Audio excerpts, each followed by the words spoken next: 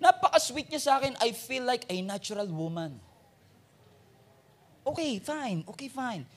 Okay, mahal ka. Sige, mahal ka. Pero ba't ka tinatago? Oh!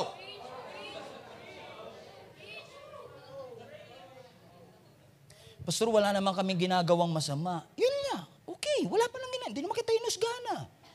Pero kung wala kang ginagawang masama, bakit mo tinatago? Wala pala eh.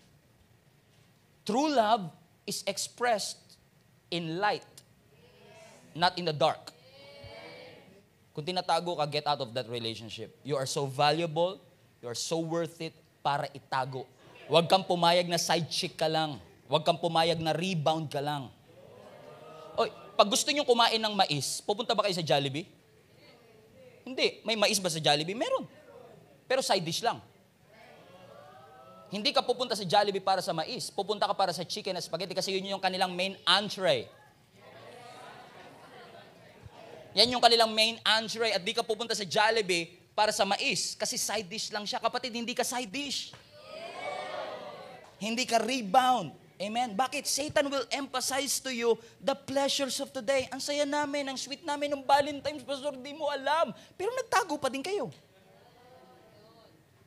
True love is expressed in the light, not in the dark.